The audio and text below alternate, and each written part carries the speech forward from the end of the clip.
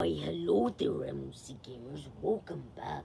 Today is Riddle Monday. And Michael's father has a new riddle to tell you guys. Tell them.